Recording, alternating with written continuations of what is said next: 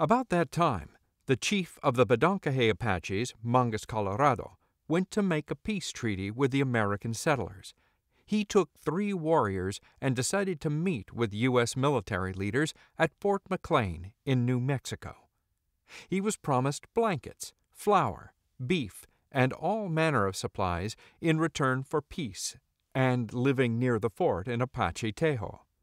Chief Mangus arrived under a flag of truce to meet with Brigadier General Joseph Rodman West, an officer of the California militia.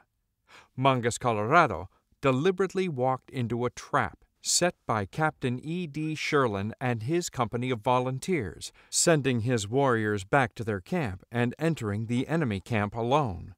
As the old chief sat by the fire, Colonel J. R. West rode into camp and ordered two armed guards placed over the chief.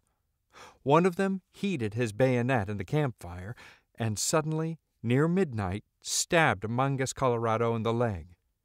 When he got up, the guards fired their rifles into him, then drew their revolvers and emptied them into his body. It was later learned that they were acting under the orders of West. Since they hadn't heard anything for several weeks, the band, low on supplies and arms, decided to retreat into the mountains near Apache Pass. In the process, they encountered four men with a herd of cattle. They killed the men and took the cattle. While they were packing the meat, they were attacked by mounted U.S. troops. They killed seven Apaches, so the natives had to retreat and scatter the U.S. troops attacked the Apaches again a few times while they were retreating. When they found out that Mangus Colorado had been killed, Geronimo was chosen as the new chief. After about a year of peace, U.S. soldiers attacked the band's camp. They killed seven children, five women, and four warriors, capturing all their supplies, blankets, horses, and clothing, and destroyed the teepees. The Apaches had nothing left, and winter was beginning. The Bedonkohe Apaches heard that Chief Victorio of the Chihenne Apaches was holding a council with the white settlers near Hot Springs in New Mexico, and that he had plenty of provisions. They had always been on friendly terms with this tribe, and Victorio was especially kind to Geronimo's people. The band went to Hot Springs they easily found Victorio and his band, and they gave them supplies for the winter. The Bedonkohes stayed with the Chihenne for about a year, and during this stay they had perfect peace. They had not the least trouble with Mexicans, white men, or natives. When the band stayed as long as they should, and had again accumulated some supplies, they decided to leave Victorio's band. When Geronimo told him that, Victorio stated the two bands should have a feast and dance before they separated. The festivities were held about two miles above Hot Springs and lasted for four days. There were about 400 Apaches at this celebration. Geronimo later recalled in his autobiography that he doesn't think they ever spent a more pleasant time than upon this occasion. The two bands remained very close. After returning home in the fall of 1864, twenty warriors agreed to go with Geronimo on another raid into Mexico. They were all chosen men, well armed and equipped for battle. The Apaches provided for the safety of their families before starting raids. Their whole tribe would scatter and then reassemble at a camp about 40 or 50 miles from the former place. In this way, it would be hard for the Mexicans to trail them and the warriors would know where to find their families when they return. Moreover, if any hostile native tribe should see a large number of warriors leaving, they might attack the camp, but if they found no one, their raid would fail. Geronimo went south through the Chokonen Apaches range, entered Sonora, Mexico at a point directly south of Tombstone, Arizona, and went into hiding in the Sierra de Antunez Mountains. Then they attacked several settlements and acquired enough supplies to last another year. After three days, they attacked a mule train with three people on board.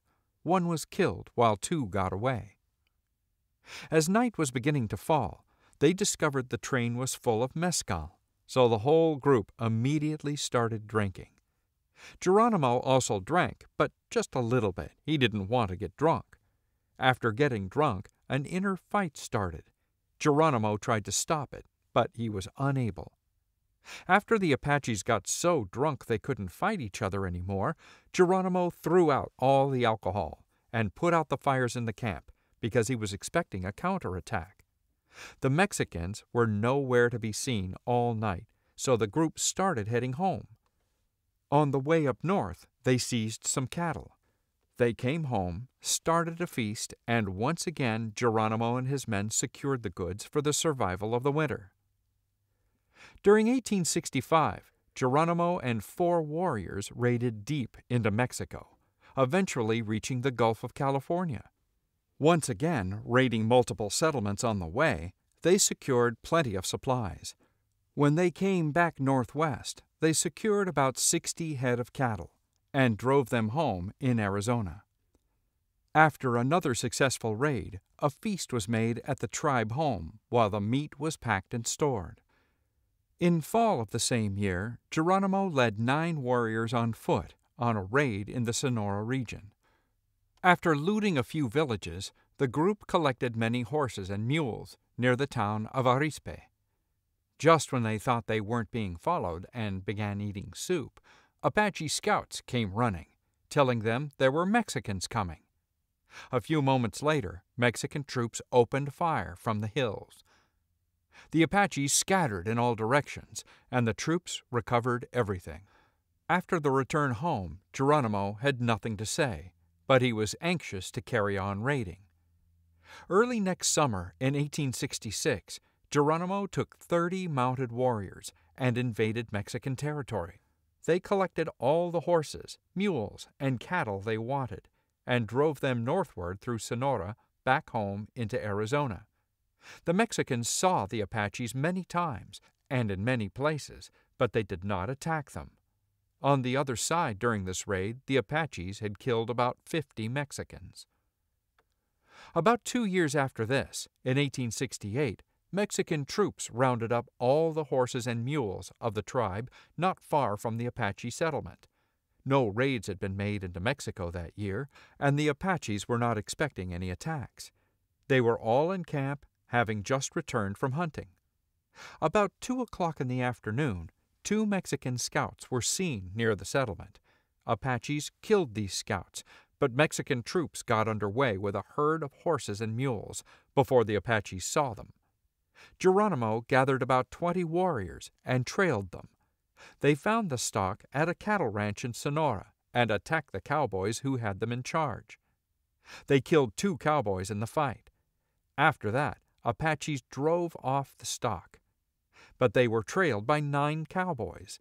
Geronimo decided it was best to divide into two groups, one large that would lead the herd home, and the second small that would stay in the rear and intercept any incoming enemies. Geronimo and three warriors stayed in the rear. One night they saw the cowboys trailing the main group. The cowboys made camp and went to sleep for the night, so Geronimo and his warriors snuck into their camp and stole their horses. Then they reached the main group and rode home fast. Back at home, everyone was happy with the outcome. It was a long time before the band again went into Mexico or were disturbed by the Mexicans. Those who followed Geronimo credited him with a variety of supernatural powers, including the ability to heal the sick, slow time, avoid bullets, bring on rainstorms, and even witness events over great distances. In one incident, described by Apache Jason Betzinez, a few warriors were sitting around a campfire during a raiding expedition when Geronimo suddenly had a premonition that U.S. troops had attacked their base camp. After arriving at the site several days later, they found that Geronimo's vision had been correct. The Americans had already captured the encampment. I cannot explain it to this day, Betzinez later wrote, but I was there and I saw it. Heavy fighting. In 1872, the Apaches were attacked by Mexican troops in their settlement, but they defeated them. Then the Apaches decided to make raids into Mexico. This time they moved their whole camp, packing all their belongings on mules and horses. Moving into Mexico, they made camp in the mountains near Nacori Chico, often changing their place of rendezvous. While passing through Mexican territory, the band would encounter Mexican homes. If the inhabitants offered to surrender and didn't make any resistance or trouble in any way, they would be taken prisoners and eventually integrated into the band. Otherwise, they would be killed on the spot, which was frequently the case. The band lived in the camp and roamed the mountains, raiding Mexican settlements for supplies, but not having any general engagement with Mexican troops. After some time, they returned home to Arizona. After remaining in Arizona for about a year, the band returned to Mexico and went into hiding in the Sierra Madre Mountains. Their camp was near Nacori Chico, and they had just organized bands of warriors for raiding the country when Apache scouts discovered Mexican troops coming toward the camp to attack them. Geronimo's band was not alone. The Nedni Apaches were with them, and their chief, Juh, commanded one division. The warriors all marched toward the troops and met them at a place about five miles from the Apache camp. Apaches showed themselves to the soldiers, and they quickly rode to the top of a hill and dismounted, placing their horses on the outside for protection. It was a round hill, very steep and rocky, and there was no timber on its sides. There were two companies of Mexican cavalry, and the Apaches had about sixty warriors. They crawled up the hill behind the rocks as Mexicans began firing. Soon the Apaches managed to kill all the Mexican horses as they were lying down shooting from behind them. At this point, the Apaches killed several Mexican soldiers while suffering no losses yet. After a couple hours of fighting and being in a stalemate, Geronimo gave the sign, and Apaches swarmed the soldiers. The soldiers were so confused they tried to run away in multiple directions, but all the ways were blocked. The Apaches killed and scalped them all. They carried away their dead and took arms and supplies. That night, they moved their camp east through the Sierra Madre Mountains into Chihuahua. The band stayed there for some time and then returned home to Arizona. Almost every year, the Bedonkohe Apache would live sometime in Arizona and sometime in Old Mexico, where they would live with the Nedni Apaches. The leaders of the bands were close friends. In 1873, a company of Mexican troops attacked the band south of Casa Grande. There were 24 Mexican soldiers and about 40 Apaches. The Mexicans surprised the Apaches in camp and fired on them, killing two in the first volley. The Apaches were in the timber, and Geronimo gave the order to go forward and fight at close range. Warriors kept behind rocks and trees until they came within ten yards of the Mexican line. Then they stood up and both sides shot until all the Mexicans were killed. Apaches lost 12 warriors in this battle.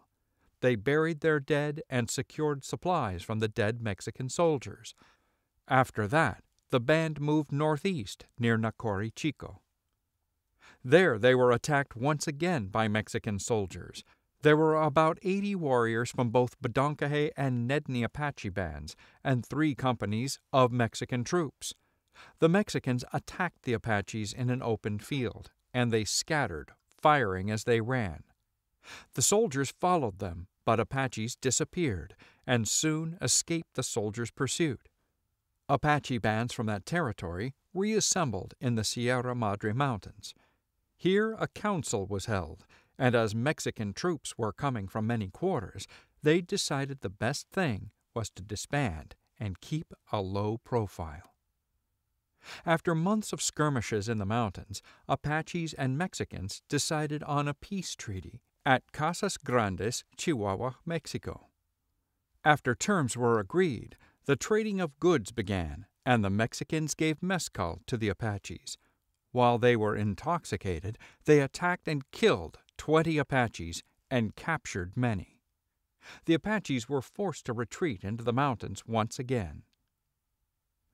A Taste of the Reservation After the treachery and massacre of Casas Grandes, the band returned to Arizona. At that time, Cochise and U.S. General Howard had arranged a meeting for a peace treaty. Since Cochise was the chief of the Chiricahua Apache, he sent for all the other subsection band chiefs, which included Geronimo as the Bedonkohe band chief.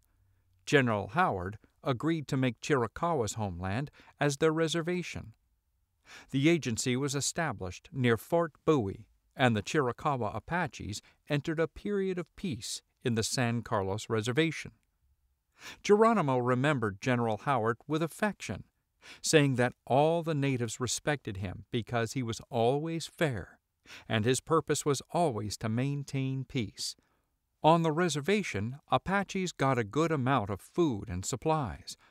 Unfortunately, General Howard soon went away, and some trouble started on the reservation, with Apaches killing a white man who was the owner of a general store, getting drunk and fighting each other.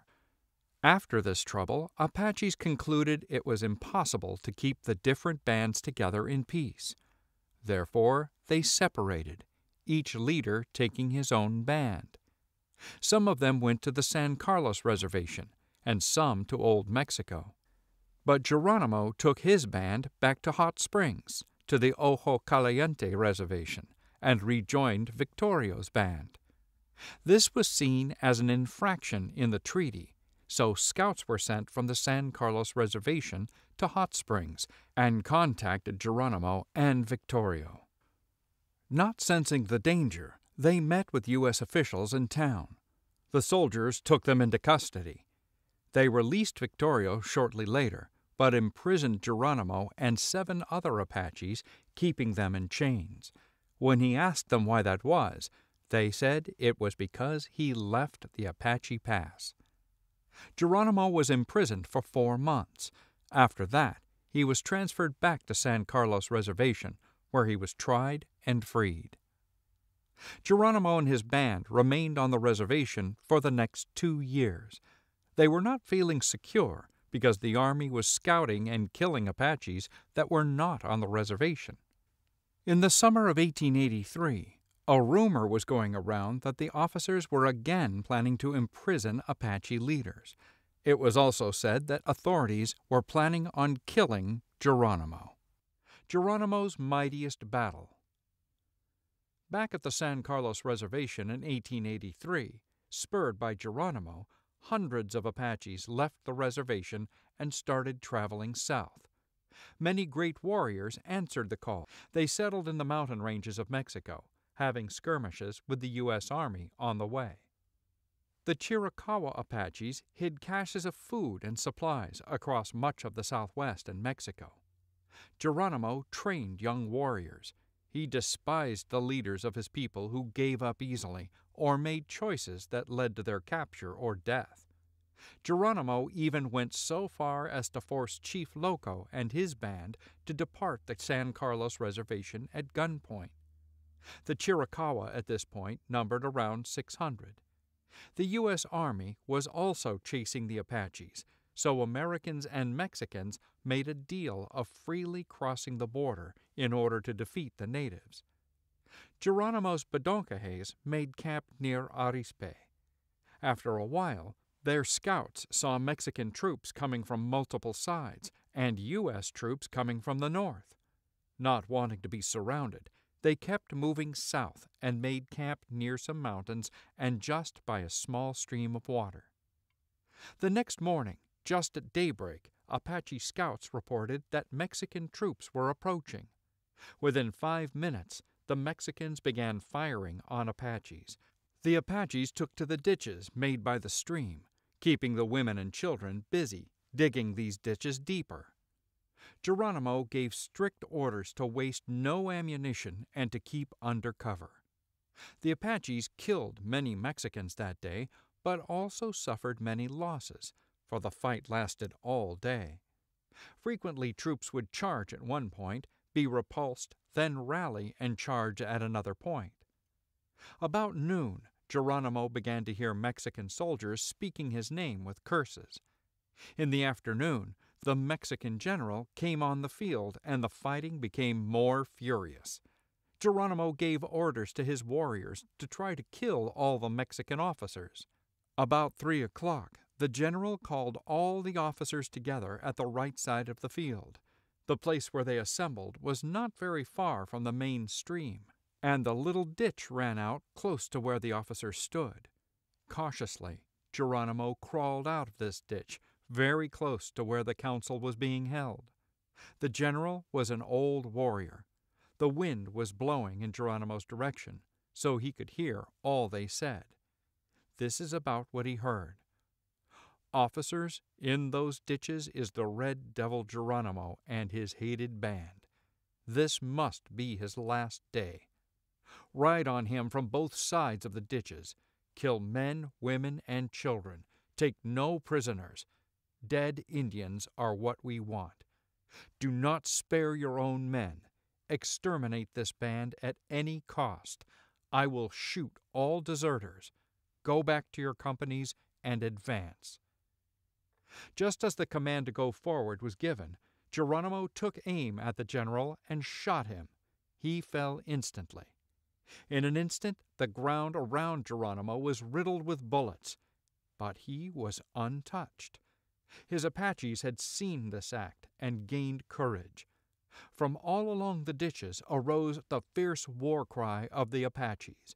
The Mexican columns wavered, and the Apache fire had destroyed the front ranks. After this, the Mexicans fighting were not so fierce, yet they continued to rally and re advance until dark. That night, before the firing had ceased, a dozen Apaches had crawled out of the ditches and set fire to the long prairie grass behind the Mexican troops. During the confusion that followed among Mexican ranks, Apaches escaped to the mountains. This was the last major battle that Geronimo ever fought with Mexicans, as from now on the U.S. government was his bigger enemy.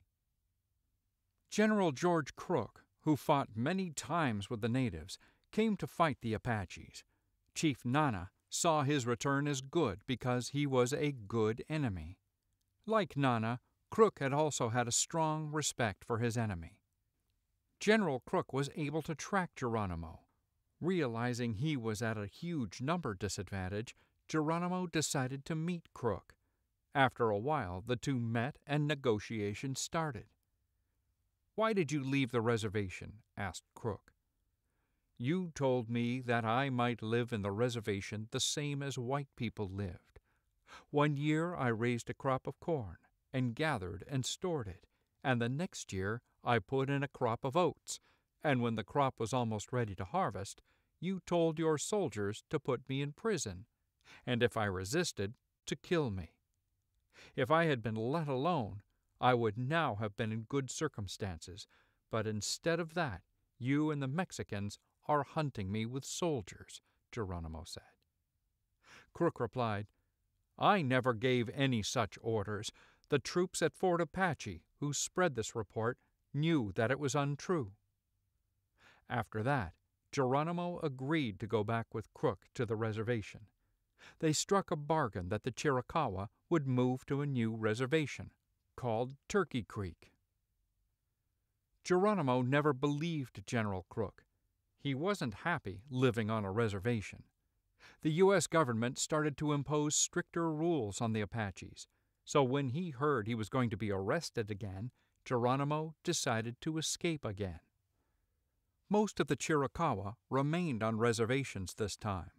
The remaining free Chiricahua took up hiding once again in the Sierra Madre Mountains, Crook pursued Geronimo into Mexico one last time.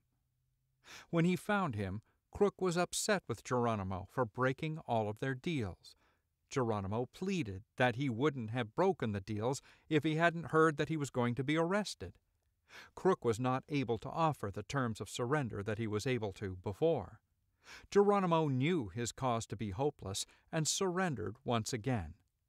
But on the way back to the U.S., the Apaches, led by Geronimo, slipped away from the army. That cost General Crook his place, and he was replaced by General Miles. A $25,000 bounty was placed on Geronimo's head. Fear gripped the Southwest during the final summer of Chiricahua freedom in 1886. The final free band of Chiricahua numbered only 37 people. They included 18 warriors, 13 women, and six children, including two infants. They remained at large for five months, while around 5,000 soldiers of the United States Army were stationed in the area to track the Apache. Around 3,000 Mexican soldiers and a little less than 1,000 volunteers were also put to the task.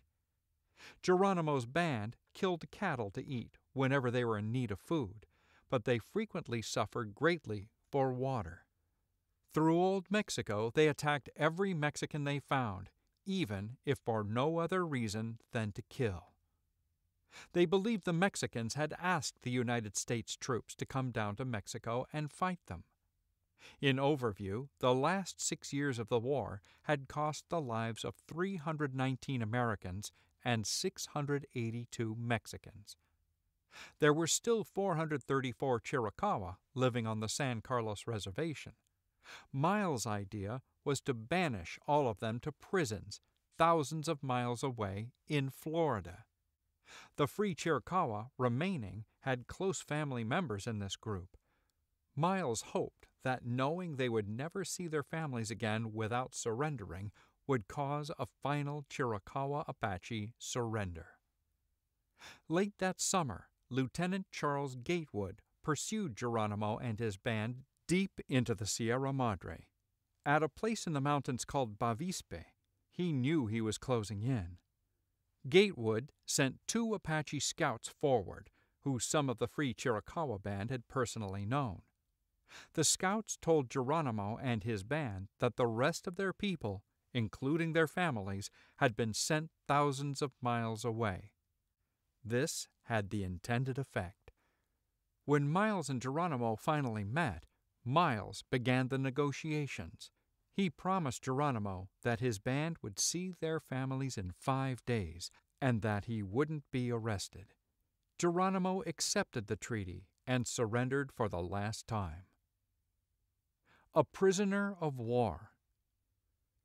Unknown to the Chiricahua, Miles had decided that since Geronimo had broken all of his prior conditions of surrender, all terms agreed upon were now null.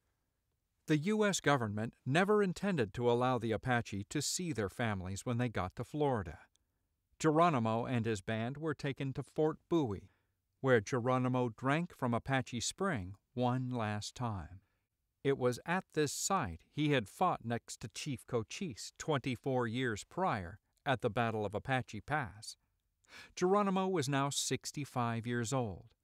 He took his last steps on his native land and entered a train car, for the first time in his life, bound for Florida. The U.S. government had rid itself of the Apache problem once and for all. The first group of Chiricahua Apache who had been moved to Florida were suffering due to malaria. They were moved to Mount Vernon in Alabama as prisoners of war. It was an unfamiliar landscape to them, in the tall trees instead of open desert plains. Their children were sent to schools in Pennsylvania to learn Christianity, English, and other aspects of the American lifestyle. Many of these children caught tuberculosis and died. Chiricahua parents back in Alabama began to hide their children so that they wouldn't be taken away. After two years of imprisonment in Florida, Geronimo and his band were moved to Alabama and were finally allowed to see their families once again. When the Chiricahua were moved to Oklahoma in 1894, there were 119 left. It was the first time in eight years that they could once again hear the coyote howl and collect their prized mesquite beans. Geronimo toured the nation performing for fairs and exhibitions such as the Buffalo Bill Sideshow. He sold little trinkets such as buttons from his coat, which he could replace. Geronimo's most famous public appearance came on March 4, 1905, when he took part in President Theodore Roosevelt's inaugural parade in Washington, D.C. Flanked by five other Indian leaders, the elderly warrior rode a pony down Pennsylvania Avenue, eliciting cries of Hooray for Geronimo from spectators. Five days later, the natives got a chance to speak to Roosevelt in person at the White House. Geronimo, still a prisoner of war, took the opportunity to plead with the president to send the Chiricahuas back to their native lands in the West. I pray you to cut the ropes and make me free, he said.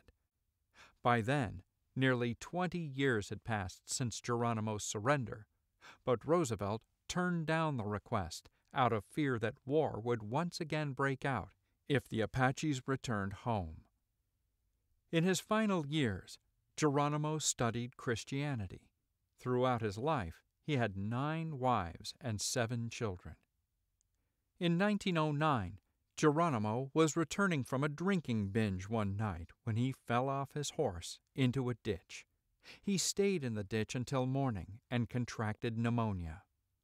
Before he died, Geronimo stated that he never should have surrendered, but instead should have died fighting. He passed away days later.